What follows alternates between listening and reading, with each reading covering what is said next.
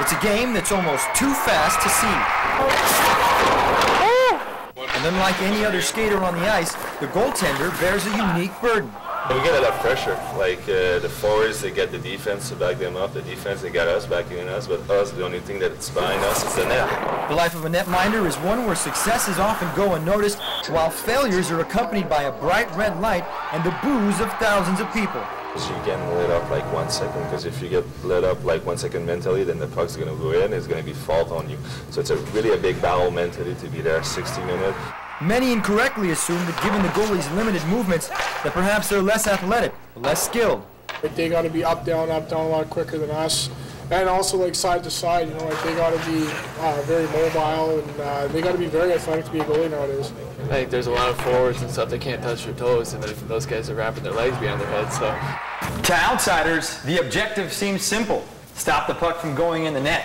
But the reality is, the goaltender position in ice hockey may be the most difficult in all of team sports. And today, I plan to find out just how difficult it really is. The first thing I learned, making even the simplest movements with goalie pads on is a challenge when wearing skates.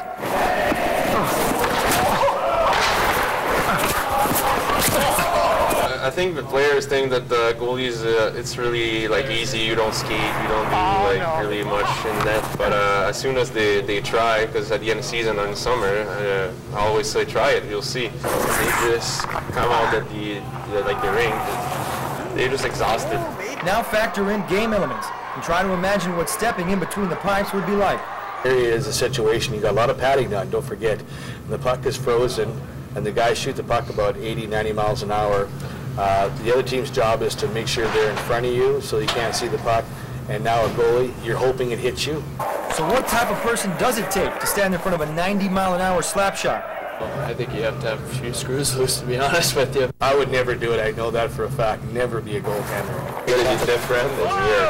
And I think I'm both. But I mean, it's part of life and I like what I'm doing.